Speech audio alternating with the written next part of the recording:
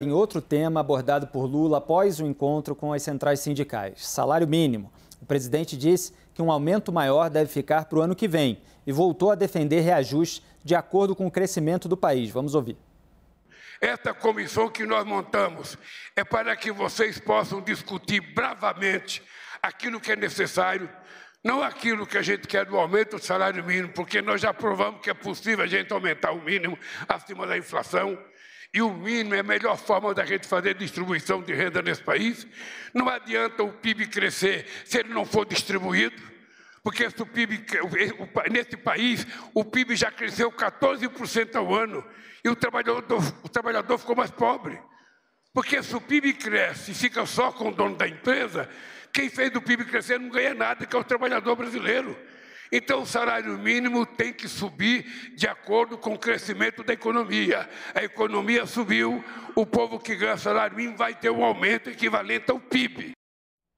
Vamos ao debate. Raquel, esse discurso está de acordo com a promessa eleitoral ou já há uma modulação?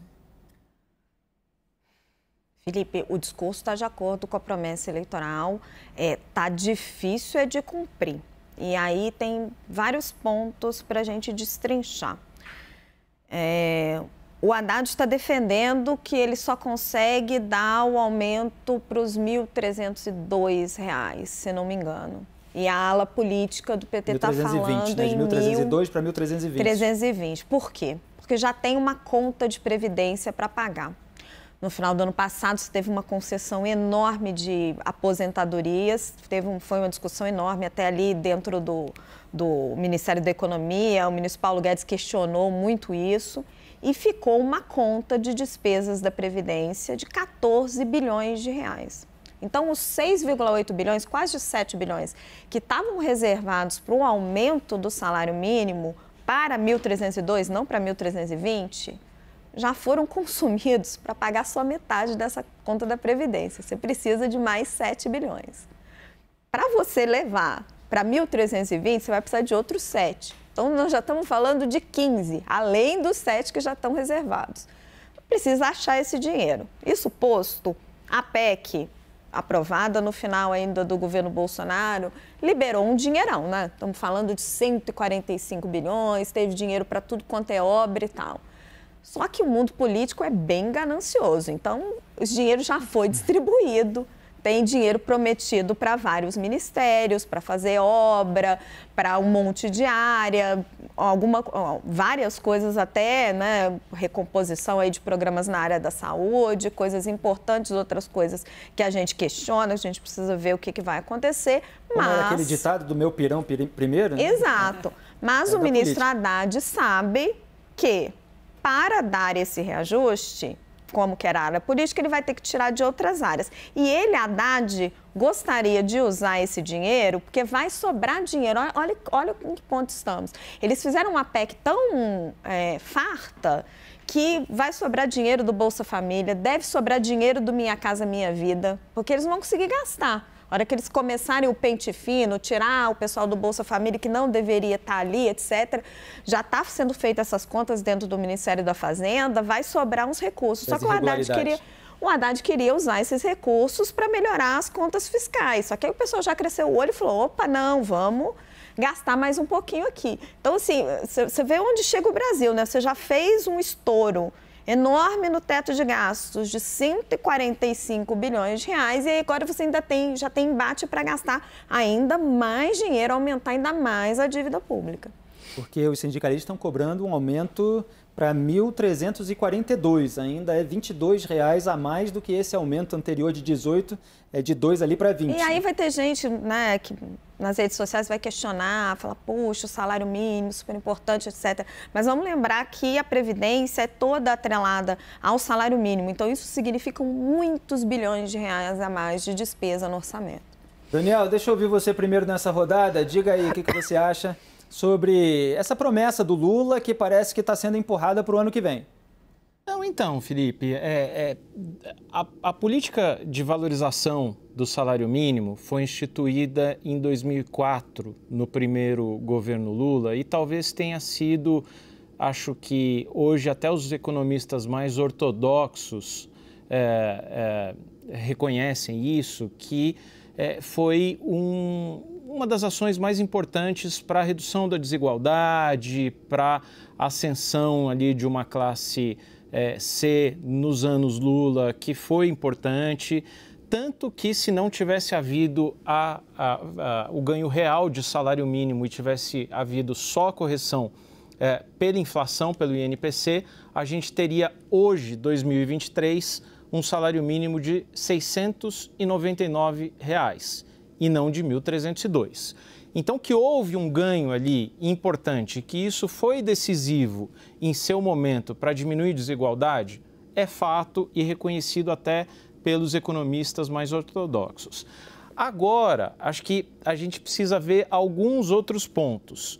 Uma política de valorização do salário mínimo, neste momento, é, geraria o mesmo impacto que gerou lá atrás, porque você não tinha um Bolsa Família ou Auxílio Brasil, chame como chamar, de 600 reais. Você tem é, agora sendo introduzida uma, uma, sendo introduzido um acréscimo de 150 reais por filho. Então, o que, que é mais importante no combate à pobreza? É importante a gente ter em conta também que salário mínimo não é só um orientador do mercado formal de trabalho e da previdência, como bem mencionou a Raquel Landim. É, salário mínimo também é uma referência para o mercado informal, para aquele trabalhador que não tem carteira anotada, cujo patrão também seguia pelo salário, pelo salário mínimo. O impacto é muito grande, então o que a gente tem que ver é, é, é assim, aprofundar um pouco mais o debate para ver é, se a, a, a, melhor medida para a redução de desigualdade e combate à pobreza neste momento é investir mais dinheiro em valorização do salário mínimo ou algum outro mecanismo mais focalizado. É, é, verdade que neste ano a gente tem espaço, com a PEC do estouro a gente tem espaço é, orçamentário. É, mas também existe uma intenção do ministro Fernando Haddad de reduzir o déficit fiscal, o déficit primário, que estava estimado em mais de 2%, para uma faixa entre 0,5% e 1%. E, e disso vai depender você ter taxas de juros menores, é, uma taxa de câmbio um pouco mais controlada e, portanto, inflação menor. Então você vê que você mexe ali numa peça do tabuleiro, como é o salário mínimo, e você mexe em todo o resto. É por isso que as medidas têm que ser muito bem calculadas e debatidas, porque elas têm muitas implicações. Pois é, Daniel está justamente respondendo a pergunta da nossa tarja, Clarissa. Reajuste acima da inflação afeta as contas públicas? Pelo visto, sim. Eu acho que afeta, acho que ninguém vai discordar que é um, cada centavinho ali pesa muito nos cofres públicos, todo mundo sabe disso. Acho que o presidente Lula tem muito claro na cabeça dele que esse reajuste real, do, esse aumento real do salário mínimo é uma bandeira política muito forte dele, da qual ele não vai abrir mão, pensando inclusive em projetos futuros ou mesmo num sucessor. Mas dito isso, eu acho que a gente tem que lembrar que a PEC do estouro foi aprovada com o argumento de que o dinheiro era necessário para pagar o Bolsa Família de 600 reais e o aumento do salário mínimo para valer já neste ano. Então, é uma promessa que acabou de ser feita para convencer o Congresso Nacional a aprovar, para depois mudar. real já do salário mínimo, Clarice. A questão é o percentual que estão querendo cada hora aumentar mais. Não, mas eu acho assim, de qualquer forma, Lula deixou muito claro que é, vai dar prioridade para esse assunto. Mas o, o 1302 estava previsto já na lei orçamentária. Já estava previsto antes, né? Do, do na lei. Bolsonaro. Fora, é. agora, sim, que ele prometeu na campanha. Sim, mas já mas, o 1302 já é um aumento real do salário mínimo. Sim, já é um aumento, mas que estava previsto é. antes, sim, queriam botar para 20. Todo o argumento que eles estavam colocando na negociação é que tanto Bolsonaro quanto Lula queriam dar um reajuste maior que foi prometido durante a campanha, que não estava na lei orçamentária, e que a aprovação da PEC tinha entre um dos seus argumentos esse reajuste. De qualquer forma, é, eu acho que é, essa criação de grupo de trabalho é só para dizer, olha, a gente não fez, mas a gente vai fazer agora. É, o, vai, vários fatores vão determinar qual vai ser esse reajuste e, sinceramente, eu acho que Lula não trabalha com a ideia de decidir se vai ser 1.320 ou 1.347, não. Ele vai querer dar um reajuste consistente nos próximos anos mesmo que isso resolva signifique sacrificar algumas outras áreas, porque isso é uma bandeira fortíssima do governo dele. Acho que o que o Daniel colocou está muito correto de lembrar que o salário mínimo seria muito diferente, a condição de uma determinada parcela da população seria muito diferente se esse reajuste real não tivesse sido feito ano a ano durante as gestões do, do, do presidente Lula quando ele ainda estava nos seus primeiros mandatos. E ele Mas criticou gente... muito Jair Bolsonaro por não ter por feito não ter esses feito, reajustes. Né? Inclusive, Esse reajuste inicial é, pode ter sido é, um, um, aceno ali para é, mostrar uma diferença, um contraste com Jair Bolsonaro, mas que ele tem a bandeira é uma de bandeira querer é, aumentar. que existe que não um vai ponto, ser abandonada. Então, concordo. Existe um ponto que é claro que o Daniel trouxe, que é o reajuste do salário mínimo ele tem um efeito sobre a redução da desigualdade. Isso é um, é, um, é um ponto pacífico, a gente sabe disso. E ele também tem um efeito sobre as contas públicas. Só que é preciso fazer escolhas.